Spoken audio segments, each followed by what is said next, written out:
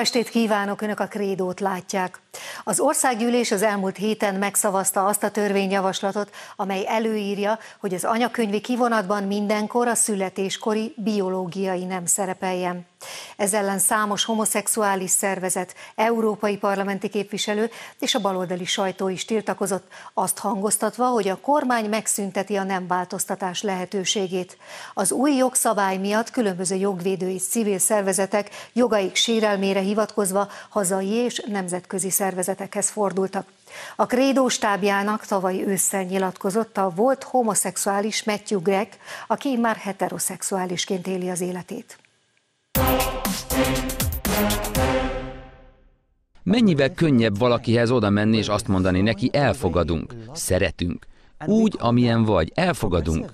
Viszont sokkal nehezebb, több türelmet és szeretetet követel az, hogy odaülünk valaki mellé, hogy kiöntse a szívét, megmutassa a sebeit, elmondja az életét, és megérteni, hogy honnan származnak belőle ezek a sebek. Ezt láthatjuk a transgender emberek esetében, akik megváltoztatták a nemüket, majd súlyosan megbánták.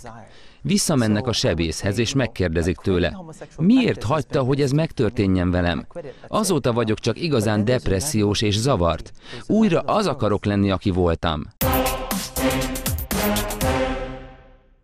Köszöntöm a stúdióban két beszélgető partneremet, Vejkei Imrét, a KDNP országgyűlési képviselőit, az Igazságügyi Bizottság elnökét, és Szabó Zsolt, jogász egyetemi tanárt. Jó estét kívánok! Jó estét kívánok, és sokan! Gyakran hallott érv, egyébként a billegők és a bizonytalanok meggyőzésére, hogy miért probléma az, hogyha mondjuk néhány honfitársunk, aki valóban mondjuk bizonytalan a nemi identitása tekintetében, anyakönyvi kivonatában nem az eredeti neme, hanem valamilyen más nem szerepel. Szóval miért probléma ez? Vagy miért annyira kardinális kérdést, hogy törvényt kellett írni erre?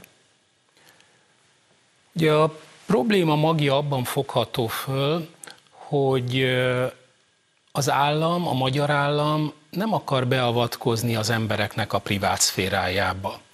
Márpedig maga a nemi identitásnak a megváltoztatása az olyan kérdés, ami az legbenső privát szférába tartozik. Én úgy gondolom, hogy ez egy rendkívül helyes döntés volt. Helyes döntés volt több szempontból is. Abból a szempontból is, hogy alkotmány és alaptörvény ellenes lett volna, hogyha a társadalmi nemet bevezetjük Magyarországon. És megmondom őszintén, én kereszténydemokrata politikusként nekem a meggyőződésemmel is ellentétes. A társadalmi nem a gender bevezetése. Tehát mindenképpen azt tudom mondani, hogy hogy jól döntöttünk, akkor az országgyűlésbe, amikor ezt a törvényjavaslatot megszavaztuk, és ez természetesen nem akadálya annak, hogy továbbra is mindenki úgy vallja meg a nemiségét, ahogy szeretné, pusztán a biológiai nem lesz rögzítve a jövőben, a születéskori biológiai nem lesz rögzítve a jövőben az, az anyakönyvi kivonatban. Valóban nem akadálya a nem váltásnak ez a törvény most? A nemváltás jogi elismerése az, ami akadályba ütközik a jövőben, de természetesen az alaptörvény továbbra is lehetővé teszi, hogy bárki identitásának megfelelően éljen Magyarországon. És ha még hozzátetnék egy másik szempontot, ehhez egy kicsit talán távolabbról, az alkotmányokban nagyon sokszor esik szó ma a különböző országok, nemzetek alkotmányos identitásáról, főleg az Európai Unióval való vitákban, diskurzusokban. Arról tudnélik, hogy van-e a népeknek egy olyan belső identitás magjuk, ami érinthetetlen. Azt gondolom, hogy ez a fajta identitás mag, amit születéskor Istentől kap valaki, ez megvan az emberek életében is ugyanígy. Tehát mi születünk valahova, valamikor, valamilyen neműnek, és ezen változtatni nem nagyon lehet. Ez egy adottság, ez akkor megtörtént, Ilyen értelemben ennek a módosítása legfeljebb jogilag lenne lehetséges, és most ennek történik meg a lezárása. Ugye számos ellenérvet hoztak fel ez ellen, egyébként hazai és nemzetközi fórumokon is. Az egyik ilyen például az eurókonformisták szerint Magyarország ellentmond az európai értékeknek, mert nálunk ugye a születési anyakönyvi kivonatba bekerül, hogy valaki születéskor fiú-e vagy lány. Az unió a keresztény értékeken jött annak idején létre. Én úgy gondolom, hogy ez a keresztény érdékrendi alapelvűség nagyon sokáig végighúzódott és kitapintható az Európai Unió fejlődésében. De valóban az utóbbi évtized, különösen az utóbbi évtized, ez ezeknek az, ezeken az értékeken egy jelentős deformálódást hozott. Méghozzá a deformálódás úgy néz ki, hogy a keresztény értékeket fokozatosan negligálják, és helyette az LGBT értékeket hozzák be. És a keresztény érték ugye azt jelenti, hogy másokért élünk, nem önmagunkért, és ehelyett behozzák a carpe dient, a mának és a magunknak élést. Igen, de hát mondhatnák erre azt, hogyha a szokásjog, vagy a felfogás, vagy a világnézet átalakul Európában, akkor nyilván az értékek is, és hogyha ezek az értékek változó félben vannak, ez a jogrendszerben is le kell, hogy képeződjön, nem? Az európai értékekkel kapcsolatban nagyon gyakran összecsúsznak az Európai Unió értékei és az európai értékek. Hát ez nem egy? Azt gondolom, hogy nem. Az Európai Unió egy jogi konstrukció, szerződések hozták létre, az elsődleges célja eredetileg valami fajta gazdasági kooperáció volt a kölcsönös előnyök alapján. Az európai értékek között pedig elvitathatatlanul ott vannak a zsidó-keresztény gyökerek, ott van a szeretet, például, hogy csak egy olyan szót mondjak, amely furcsán és talán idegenül cseng ebben a kontextusban, de azt gondolom, hogy európai értékről van szó. Na de milyenek az egésznek az optikája? Ugye itt van egy politikai közösség Európában, balliberális pártok például felvállalják, sőt küzdenek is a nemi kisebbségek jogaiért, a homoszexuális közösségek jogaiért, a transzexuálisok jogaiért, és itt van egy jobboldal, vagy egy konzervatív, vagy kereszténydemokrata értékeket képviselő csoport, amely vagy negligálja, ezt a társadalmi csoportot, vagy kirekeszti az alapvető jogokból, hiszen egyébként a transzexuális közösségek azt hangsúlyozzák, hogy a nem választás joga alapvető jog. Szóval hogyan lehet ezen a fénytörésen kicsit javítani, vagy ezt árnyalni? Ennél még rosszabb a helyzet európai szinten, mert nem pár családok között van tulajdonképpen a vita, hanem, hanem országok párcsaládjai között is. Tehát akkor, amikor mi kimegyünk a néppárti, kereszténydemokrata párti egyesített frakcióba, akkor legalább annyit kell frakción belül vitatkoznunk különböző értékrendi kérdésekben, mint amennyit akár a szocialista, liberális vagy kommunista frakcióval kell vita, vagy zöld frakcióval kell vitatkoznunk. Tehát én azt látom, hogy ami az alapvető problémát jelenti Európában, az Európai Unióban és Nyugat-Európában velünk magyarokkal szemben, az az, hogy létezik egy húsvéti alaptörvény. A húsvéti alaptörvényünk az azért rendkívül fontos, és azért nagyon nagy probléma az ő szemükben, mert keresztény értékek alapján van meghatározva. Tehát például a házasságot fehéren-feketén leírtuk benne, hogy a házasság az egy férfi és egy nő között jön, jöhet létre. Például, amikor Strasbourgban voltam, és azt mondta, ilyen demokrácia kérdésekről vitatkoztunk, eljárás is volt Magyarországgal szemben, akkor azt mondták nekem, hogy ha ezt például kivesszük az alaptörvényből, akkor nem lesz probléma a jövőben a magyar demokrácia kérdésével, meg a sajtószabadság kérdésével és semmivel.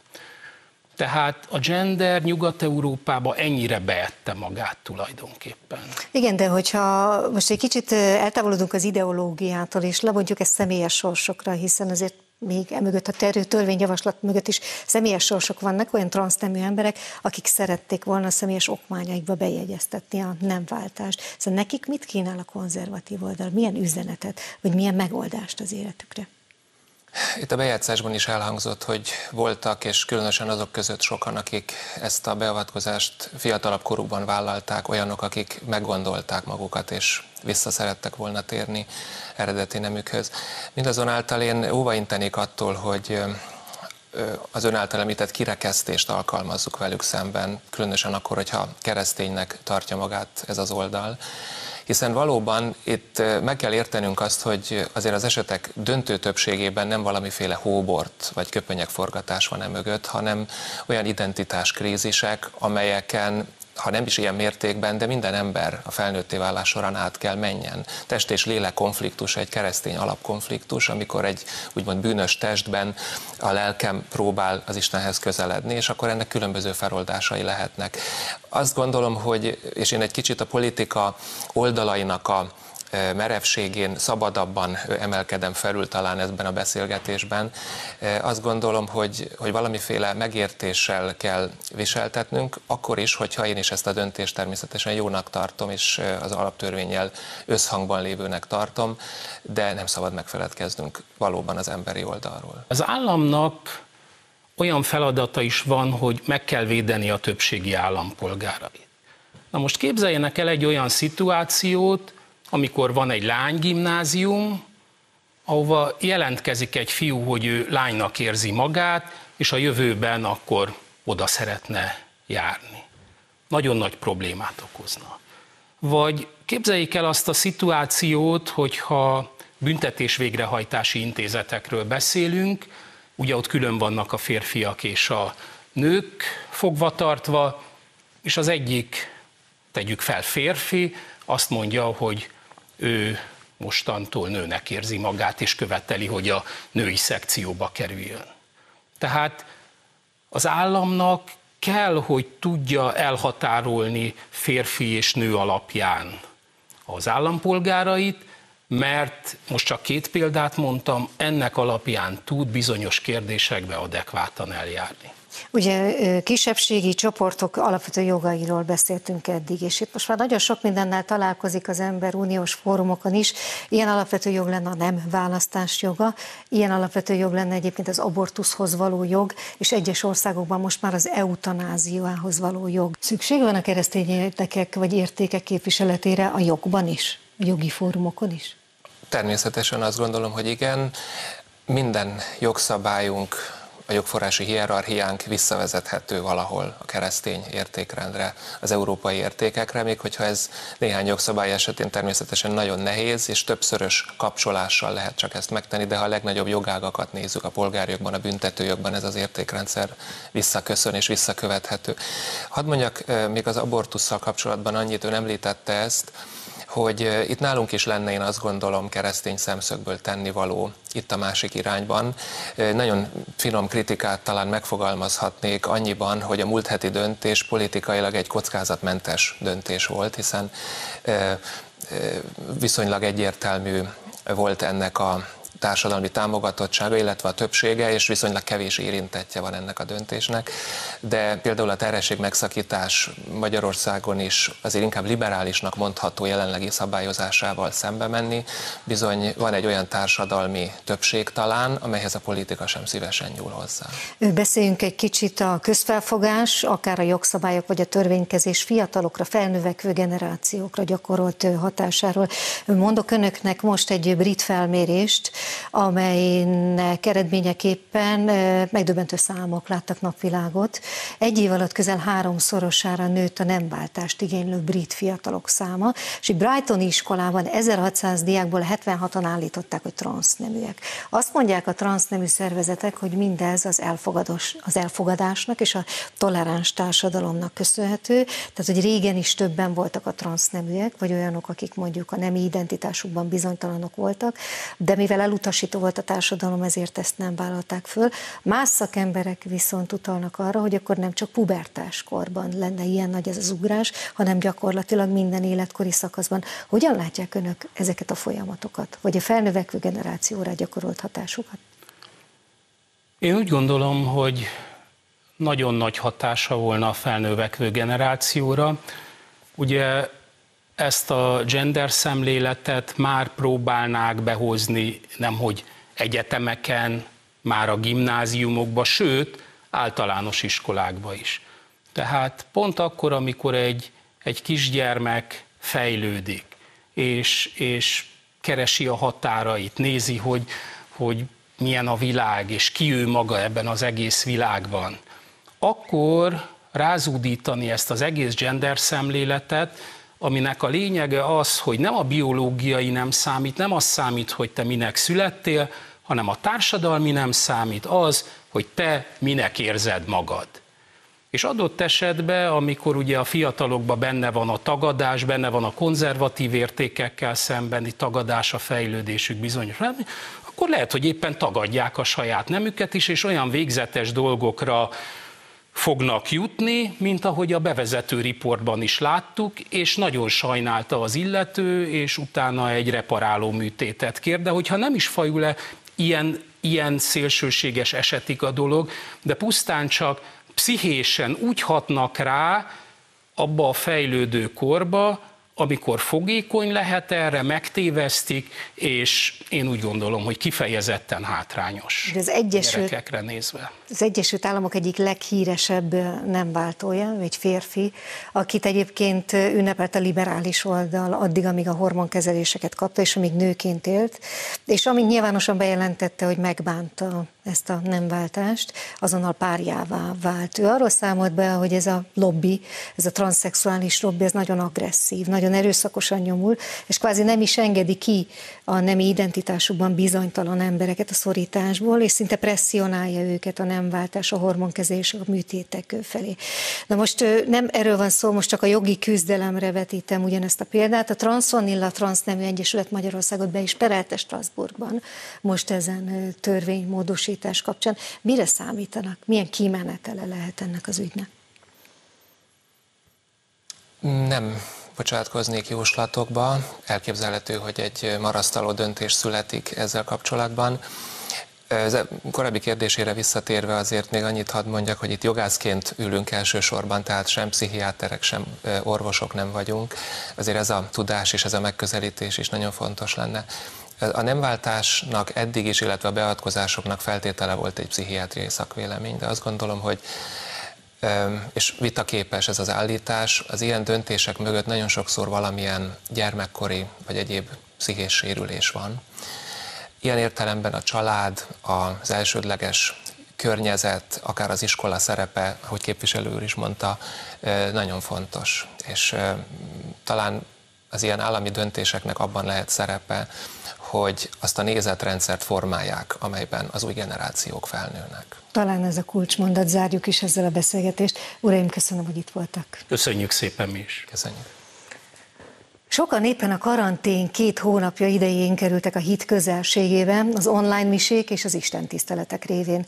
De hogyan tovább a nyitás után? Ezzel folytatódik a krédó a rövid szünet után. Maradjanak velünk!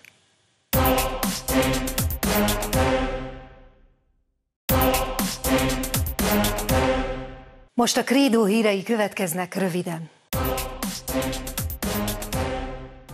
Június 4-én megszólalnak a katolikus templomok harangjai, így emlékezve a trianoni békediktátum századik évfordulójára. A Magyar Katolikus Püspöki Konferencia közleménye így fogalmaz.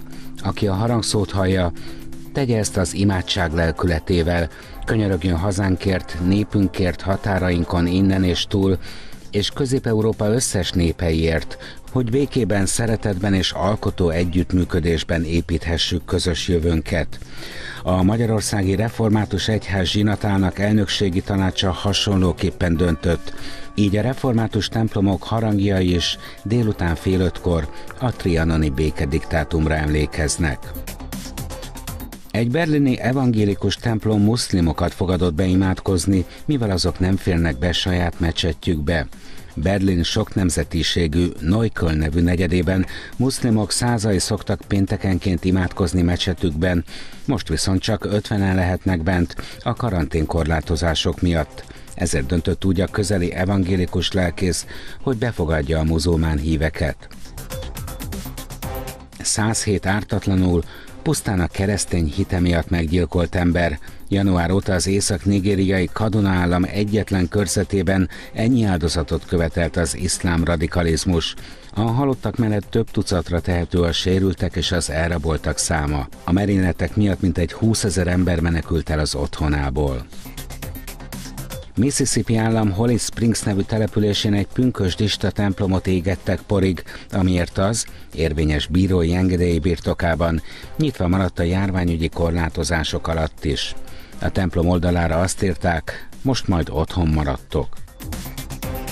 Baloldali aktivisták rongálták meg a Salzburgi Home Missziós Központ katolikus segélyszervezet gépkocsijait. A szervezet autóit pro-choice feliratokkal festették össze. Ezen a szlogennel szokták az abortusz, melegházasságot és az egyéb, jellemzően szélső liberális törekvéseket reklámozni.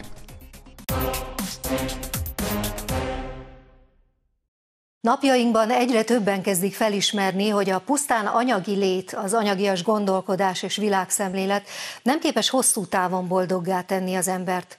Az útkeresők tábora az elmúlt időszakban nagyban bővült. Sokan, elsősorban fiatalok az online szentmisék és Isten tiszteletek révén így tették meg az első lépést a spirituális úton. Kérdés azonban, hogy megteszik-e a másodikat, illetve kapnak -e ehhez segítséget. Köszöntöm a stúdióban két ma esti vendégemet, Pintér Béla, énekes dalszerzőt, és Marti Zoltánt, a 777 blog alapító főszerkesztőjét. Szervusztok, jó estét kívánok! Jó estét kívánok! Jó estét.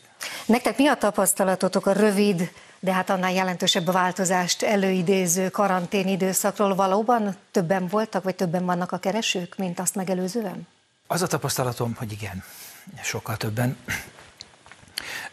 az online tér nyitott egy nagy ajtót, egy nagy lehetőséget arra, hogy azok, akik eddig nem tartoztak semmilyen közösséghez, vagy nem gyakorolták a hitüket úgy, hogy templomba vagy gyülekezetbe jártak, azért egy-egy gomnyomással csak könnyebben részt tudtak venni egy misén vagy egy istentiszteleten, vagy egyéb rendezvényeken is, hiszen nem csak ezekről volt szó, akár koncertek, bármik, amik erre a tér, e-, ebben a, ebben a gondolatkörben valósultak meg.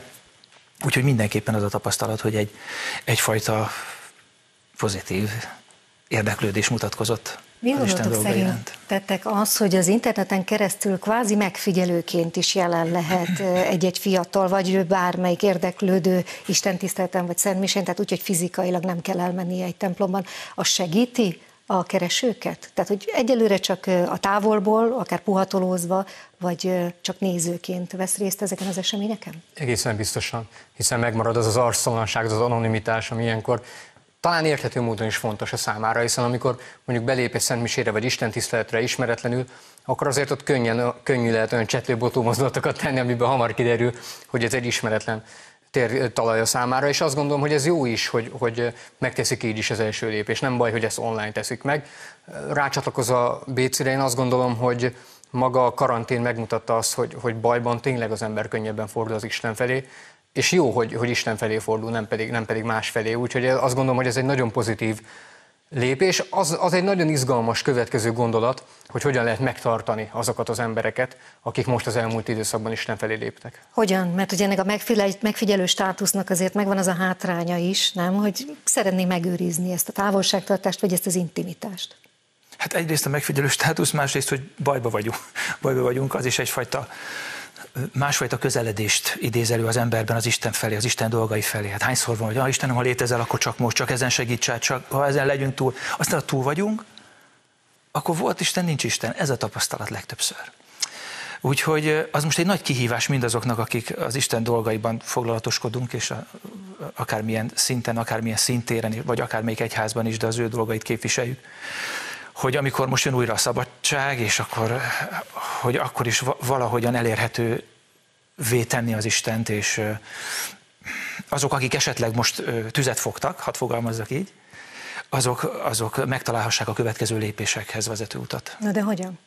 Közösség, közösség, közösség. Csak ezt, ezt tudom hangsúlyozni, elképesztően fontos. A hétet is azt látom, hogy számtalan olyan üzenetet kapunk, hogy kérdezik, hogy hogyan lehet csatlakozni hozzánk, és mindig kicsi zavarbejtő, hiszen mi a szerkesztőség vagyunk. De a fiatalok nagyon szeretnének fogódzókat találni, közösségeket, olyan embereket, akikre fölnézhetnek, olyan társakat, akikre nem feltétlenül fölnézhetnek, hanem úgy vannak vele, hogy nem, nem vagyok egyedül, jaj, de jó, hogy ő is itt van, jaj, de jó, hogy ő is ezt gondolja. Mert ebben a világban nagyon fontos gondolat szerintem, hogy egy, egy mai keresztény fiatal az automatikusan lázadó. Mert lázad minden ellen, amit a világ súlykol belé. És ez egy nagyon fontos gondolat, hogy a kereszténység számomra ezért is vonzó egyébként, mert ez egy lázadás azok az értékek mellett, amelyek számára fontosak, amelyek tényleg a, a megtartó erő, hiszen annyira mindenhol azt tapasztaljuk, mindenhol olyan értékek jönnek velünk szembe, amelyek elcsábíthatnak, elkalandozhatnak bennünket a kereszténységtől, hogy tényleg egy kisebbséghez tartozik az, aki megpróbál keresztény módon élni. Arról már beszéltünk, hogy a dalokon a zeneműveken keresztül. Nyilván nyitva van a kapu, és talán a könnyű zenére fogékonyak is a fiatalok, ahogy egyébként az internet is egy olyan felület, ami közel áll ehhez a korcsoporthoz vagy réteghez. Na de milyen formában kell közvetíteni nekik az üzenetet? Tehát az eredeti keresztény tanítás az érintetlen formájában, ez befogadható a számukra, vagy egy kicsit azért fel kell lazítani? Én azt gondolom keresztényként, és remélem nem fog ilyen sablonosnak tűnni a válasz, de csak az eredeti tanítás az, ami befogadható. Tehát úgy vagyunk teremtve, hogy a szívünk az igazságra rezonál. És minden, ami erre rájött évek, évtizedek, évszázadok, évezredek alatt, mindenféle e- emberi próbálkozás vagy nyomaték, az, az helyből nem kell a léleknek. Én ez, nekem ez a tapasztalatom. Én zenész, zenész vagyok, és a, a, a dalaim azok kicsit ilyen kortárs keresztény, keresztény dalok, ami már egy szűrő nem használom a megosztás szót, de hogy úgy az egyházban azért nem mindenki mozdul arra rá, hogy igen, populáris műfajban kell az embereket megérinteni, de azt látom, hogy ez egy olyan jó csomagoló anyag, hadd fogalmazzak így, egy olyan jó hordozó valami, ami közelebb tudja vinni az igazságot. És hogyha el tudom azt érni, hogy mondjuk esetemben nem ragad le a ritmusnál és a zenénél, vagy klip esetében a képi megjelenítésnél, hanem áthallik az igazság, sőt kijön a végére, hogy miről is, miről is szól ez az egész körítés, és miről is szól maga a csomagolás, és hogy nem azt kell megenni, hanem van valami értékesebb a mélyén benne, akkor célt értem. És ez viszont már nem korfüggő, ez azt gondolom, hogy a szívet kell el, elérni, és hogyha az megvan, akkor onnantól mindaz, ami, amit utána növekedésnek hívunk, vagy az Isten dolgaiba való mozdulás, mozdulásnak, az már az Istennek a dolga. Nagyon fontos, amit a Béci mond. Már csak azért is, mert ha megnézzük például az ő munkásságát, hogy mondjuk a, a legnépszerűbb dalait több millióan nézték meg a Youtube-on, és nem ilyen, nem ilyen nyalásteként mondom, hanem egy milyen jó bizonyíték, hogy, hogy nem az üzenetet változtatja meg a ember, hanem a csomagolást. És ez nagyon fontos, mert azt gondolom, hogy onnantól kezdve, hogy egy szót is elveszünk az üzenetből, ha az üzenetet akarjuk megváltoztatni, akkor súlyos bűn és hibát is elkövetünk. Az, az, az nem lehet vonzóbbá tenni az evangélium üzenetét, mert nincs annál vonzóbb. Az a kérdés, hogy hitelesen át tudjuk-e adni, és persze mindannyian bűnösök és vétkesek vagyunk, és ez fontos hangsúlyozni, hogy ilyenkor nem magaslóról beszélünk, gyarló emberek vagyunk de át tudjuk-e az életünkkel adni azt a példát, hogy igen, mi is elesünk, de fölállunk, és van hova, van hova kapaszkodunk, van miben megkapaszkodunk a hitünkben. Szerintem ez egy, ez egy kulcskérdés. Milyen tapasztalatokkal bírsz már most így, hiszen jó ideje működik a blog, és már beszéltünk korábban arról, hogy eleinte benneteket is meglepett a népszerűsége. Szóval mik voltak azok a gyerekbetegségek, amelyeket ki kellett küszöbölni, vagy hogyan tapasztaltátok ki, hogy mely témákra fogékonyak például a fiatalok, mi érdekli őket? Igazából nekünk nagyon könnyű dolgunk van, mert csak önmagunkat kell adnunk, és ez tényleg ez egy, ez egy áldás. Tehát, hogy mi nem, nem ide azt néztük, hogy, hogy na most akkor, ha a szexualitásról beszélünk, akkor, akkor az biztos olvasott lesz. Persze, őszintén szóval lehet, hogy volt egy-két olyan példa, de nem ez, a, nem ez a jellemző, hanem hogy mi foglalkoztat bennünket. És azt látom, hogy a többi fiatalt, és szerintem, ha van, van titka a 777-nek, akkor az az, hogy, hogy azokkal a témákkal foglalkozunk, amelyikkel a kortársaink, csak mi, mi beszélünk róla nyilvánosan. Nem, nem hiszek a manírban, nem hiszek abban, hogy, hogy megnézni, hogy, hogy mi, az, ami, mi az, ami foglalkoztathat valakit, és azt szerint igazítani saját magunkat. Egy blognak szerintem pont az a lényege, hogy az ember a saját életéről, a tapasztalatairól, a hibáiról írjon, és amit előbb is mondtam, hogy tényleg nagyon fontos, hogy hogy nem egy magas lóról karddal kaszabolva azt hirdetni, hogy ha ezt meg ezt teszed, akkor elkárhozol, és nem tudom, hanem azt bemutatni, hogy a kereszténység egy milyen jó üzenetet tartalmaz, és keresztényként jobb és minőségibb életet tudsz élni, mint mondjuk nem keresztényként. Miért van az egyébként, hogy a mindennapokban kevésbé vagyunk nyitottak, vagy ha nyitottak is vagyunk, akkor csak bizonyos időszakokban szerintetek? Vagy ez csak egy ilyen átmeneti áldott állapot? Azért, azt gondolom, hogy azért is az elsősorban önkritika felén, keresztények felé, mert bár csatlakozva itt hozzád elmondjuk, hogy tartalmasabb életet élhetsz keresztényként, mint nem keresztényként, és megnéz a keresztényt, és azt lehet, hogy nem él tartalmasabb életet. Ezzel küzdünk mi is. Igyekszünk ebbe őszintének lenni, és nem valami fú, valami misztikus valamit árulunk, és akkor majd akkor gyere, hanem hogy az van, hogy, hogy csak ma is elestem párszor hogy, ez, hogy ez, ez nem egy ilyen magától értetődő történet, ezért ne is rám nézzél, meg ne az egyház fődre nézzél, mert ő is egy ember ugyanúgy jött ebbe a világba, meg el fog innen menni, mint te, meg én. Hanem nézzél valakire, aki jött, látott és győzött, és őt Jézusnak hívják. Tehát vagy rá tudunk mutatni, és akkor a, a gyengeségeink azok, azok el, el, eltűnnek, vagy pedig megmaradunk bugdácsolósnak, és akkor jön az, amit az előbb is említettél, hogy amikor vannak ilyen időszakok, amikor, amikor nehézség van, amikor járvány van, amikor elkezdünk félni, amikor bezár egy város, és azt mondjuk, hogy úristen, most mi lesz? Akkor le fog korlátozódni ilyen időszakokra, és amikor megjön a jó idő, amikor megjön a szabadság, akkor meg hétszer gonoszabban térünk vissza előző útjainkhoz, amit azt gondolom senki sem akar. Maradjunk ennél a ciklikusságnál, vagy körforgásnál, vagy időszakos történeteknél, mert egy fogyasztói társadalomban élünk, maximum egy évre veszünk bútort, cipőt, azt pedig csak egy tavaszra, vagy egy szezonra. Tehát mindent megveszünk, eldobálunk. Tehát lehet, hogy sok fiatalnak, vagy sokaknak megtetszik a kereszténység, de ahhoz is hozzászoktunk, hogy hamar el is dobjuk, amit megtaláltunk. Szóval hogyan lehet egy fogyasztói kultúrában ilyen fluktuáció mellett megtartani az értékeket szerintetek? Hát ez egyrészt kellene hiteles emberek, azt hiszem, akikre föl lehet nézni, másrészt tényleg, hogy ismételjem magam a közösség is. Harmadrészt pedig az, hogy ne, ne jegyünk meg akkor, amikor kételkedünk azt, azt látom, hogy gyakran így, gyakran így megijedünk, pedig a kételkedés az, az egy teljesen természetes dolog. Én nagyon uh, tudok uh, azonosulni Szent Tamás apostol, aki mind, mindig, tehát ő az, a, ő az az apostol, aki mindig kételkedik mindenben. És ez most volt Urunk mennyben tényleg az ünnepe. És az is milyen érdekes, hogy ott is, ott is kell egy megerősítés az apostoloknak, milyen furcsa, nem? Jézus fölmegy a mennybe, és erre ott, ott elkezdenek pánikolni, még akkor is kételkednek. Én nem gondolom, hogy a kételkedés az, az baj, hogyha erősebben jövünk ki belőle. Tehát, hogy merjünk, merjünk néha kicsit kételkedni, mert az szerintem a hitnek a, a megerősödéséhez vezet. Én nem hiszek abban, hogy az év 365 napjában és annak 24 órájában lehet ugyanolyan intenzitással és, és lelkülettel dicsőíteni Isten. Szerintem néha, néha kicsit el kell bizonytalanodnunk, hogy utána, utána felismerjük azt a fantasztikus dolgot, hogy tényleg létezik, és hogy tényleg mennyire szeret minket. De mindketten ismeritek bizonyára az állandó kereső típust, és ebből tényleg be kell, hogy valljuk magunknak is, nagyon sok van, talán a saját környezetünkben is.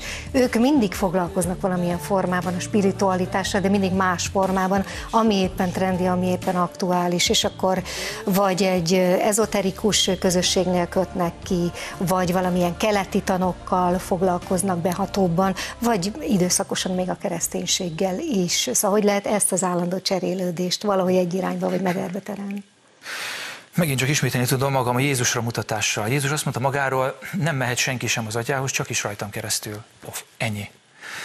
Ma mindenben választhatunk világunkban, ez egy, ez egy radikálisnak tűnő üzenet, és ha, radik, ha ez az, akkor én vállalom, hogy radikális vagyok keresztényként. Jézus is az volt. Tehát amikor azt mondja, hogy nincs más, csak én, az azért ellenmond minden demokratikus elképzelésnek. És ezt kell megértetnünk az emberekkel, és talán a második lépés innen, ami talán egy picit nehezebb, hogy ez nem köteléket jelent, és nem valamiféle feket, olyan fekete és fehér dolgot, hogy így a színeket ezentúl elveszítettem, hanem hogy ez jelenti a szabadságot. Ezt a szív bevaló, az igazságnak a szívbe való behatolása nélkül csupán a keretek megismertetésével nem tudjuk elérni. De azt fogja, mondani, azt fogja látni, mi az, amit nem szabad. Rögtön az lesz. Akkor már nem tettem. Ott van a tíz parancsot, hát már el, elbuktam az egész kész, nem megy az egész. Ráadásul azt mondja a Biblia, hogy ha egyet elrontottam, akkor az összes megrontottam. Hát ki, ki tudja ezt megugrani?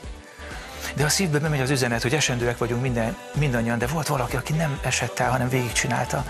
Akkor az ember erőt kap, akkor az ember reménységre lel, és talán megszűnik ez az állandó keresése, és megtérésnek szoktuk ezt hívni, hazatalálásnak erre vagyunk teremtve, hogy fölismerjük hazavezető utat, hazaérkezünk, és azt mondjuk, hogy megjöttem.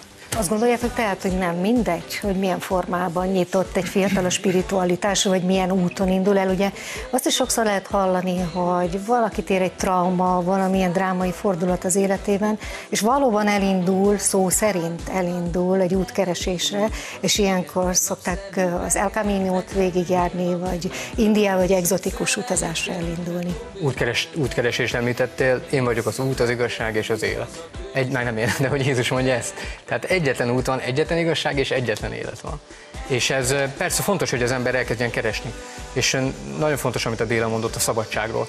Én szerintem keresztényként lehet igazán megélni ezt a szabadságot, és megint csak fontos, hogy ezt nem, nem, nem lehet a kereszténységet lenyomni más torkán. Ez egy, ez egy, nem lehet azt mondani, hogy így, így, mert akkor nem lesz gondod, bajod.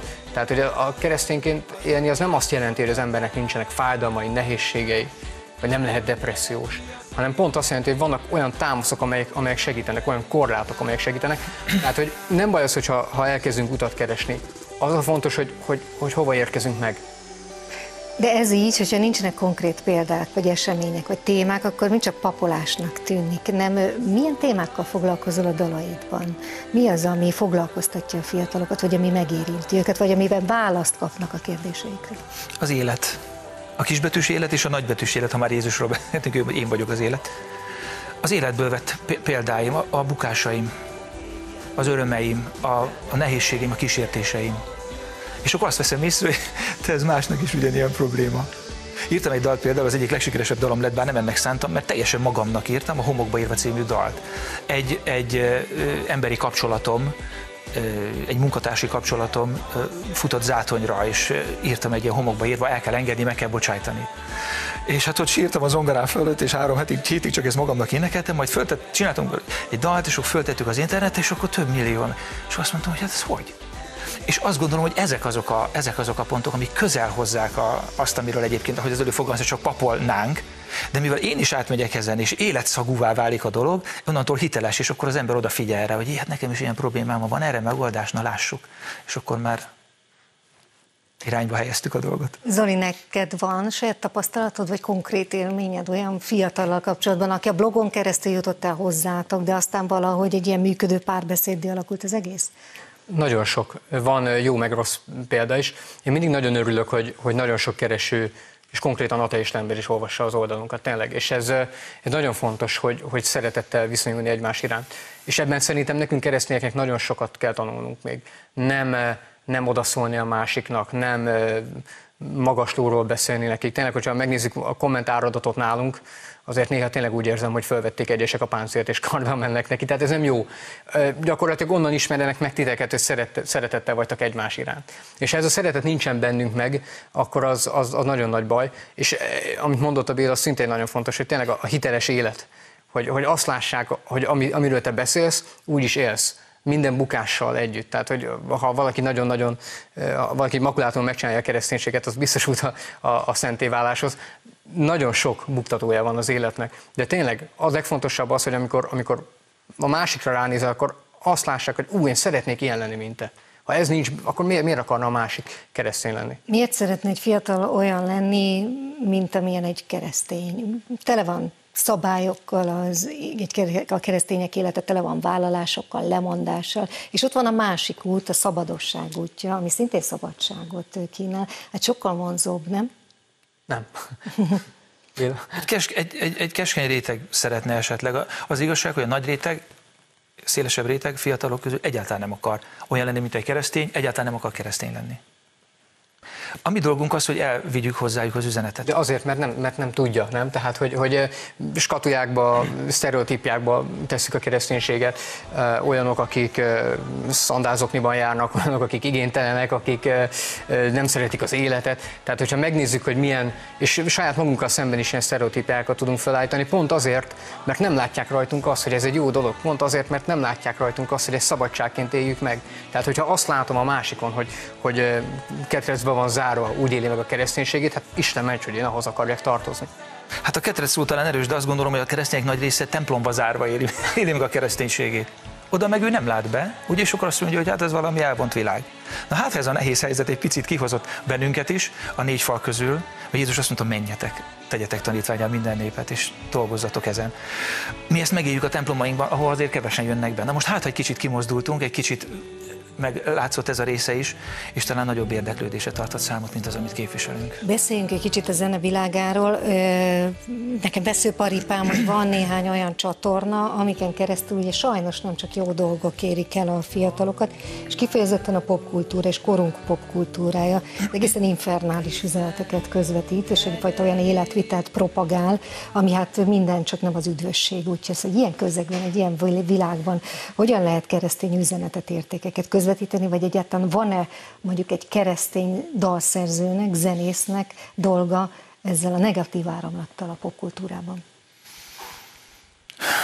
Direktbe azt gondolom, hogy rossz úton jár, aki azt gondolja, hogy ezzel van dolga keresztény zenészként, mert akkor úgy elmegy a szélmalomharcra az energia mert annyival nagyobb, annyival szélesebb, annyival profibb, annyival több pénz van benne, annyival több, nem lehet vele fölvenni a versenyt. Azt mondja, és meghallgatod az én zenémet, vagy meghallgatod egy világsztár, persze, hát sokkal jobb, és akkor 99-1 az ő javára, vagy 100-0, teljesen mindegy.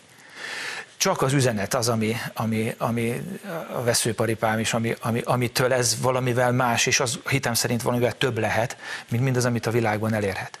Természetesen én is próbálok nem kiszolgálni, de szolgálni az emberek felé, és akkor nézem a ha fiataloknak szóló zenével, zenéről beszélünk most itt éppen, de csak az egyik fele, mert az egyházban lévők felé is szeretnénk természetesen szolgálni. De ha fiatalok felé, akkor nézem, hogy mik a trendek. És akkor nézem, hogy milyen hangzásvilág az, ami hozzá közel áll. Néhány perccel ezelőtt beszéltünk a csomagolásról, hogy a csomagolás ne vegye el a kedvét a fogyasztástól. Tehát ez legyen úgy becsomagolva, és akkor azt mondja, na akkor nézzük, bontsuk ki. És az a jó tapasztalatom, hogy sokakat elér így. És, és Jézus mondja, hogy ha szolgáltok az evangéliumban, legyetek szelidek, mint a galambok, és legyetek ravaszak, mint a Rókák. Rókák? Meg a kígyók? Kígyók. Kígyók. A rókos az egyébként, de a kígyó. Igen. És akkor, hogy találjátok meg a módját, találjátok meg a csatornákat, juttassátok el az üzenetet. Néha gondolkodok, hogy miért ránk bízta ezt, hogy miért nem néhány angyal lejönne, megfújna két trombitát, és hanyat este mindenki, és akkor fú. De valami miatt ezt ránk bízta, hát akkor biztos jó szá, jó, jók a tervei, mert mindig tökéletesek, akkor igyekszünk ennek megfelelni. No, eltett két hónap, amiben a fő üzenet az volt, hogy maradj otthon. Akkor maradjunk az üzenetnél. Most milyen üzenetet fogalmaznátok meg azoknak a keresőknek, akik nyitottak most a karantén ideje alatt, keresik a spiritualitást, a szellemi utat. Mi legyen most az aktuális üzenet? Gyere haza, tehát hívjuk Istenhez az embereket. Ez, azt gondolom, hogy ez, ez, ez az egy mondatunk, hogyha van, akkor az jó. Aláírom. A végére egy fontos kérdés, a 777 csapata most arra buzdít aktuálisan valamennyi magyart, ugye a Trianon századik évfordulóján 2020. június 4-én magyarországi idő szerint hánykor is? 16 óra 30 perc, ugye 16 óra 32 perckor volt a, az aláírás, de nem akartuk túl bonyolítani a, a, a dolgot, tehát 16 óra 30-kor, amikor például a főváros tömegközlekedésen is majd meg fog állni. Arra buzdítjuk az embereket, hogy forduljunk Istenhez ebben a nehéz pillanatban. Merjük letenni ezt a nagy keresztünket, merjük hálát adni azért, hogy lehetünk, hogy magyarok lehetünk. Egy fantasztikus kincsnek gondolom, és, és azt hiszem, hogy ha tényleg a, a világ magyarsága összefog imában, akkor a lehető legjobban használjuk ki ezt a, ezt a végtelenül szomorú drámát, ami száz éve történt. Köszönöm ezt az üzenetet a beszélgetésünk végére, és köszönöm, hogy itt voltatok. Visszavárunk benneteket egy másik alkalommal is. Köszönjük szépen. Köszönjük a lehetőséget. Önök a Krédót látták, várjuk leveleiket a krédókukacírtv.net e-mail címen. Követhetnek bennünket a Facebookon és az Instagramon is. Találkozunk a jövő héten is a viszontlátásra.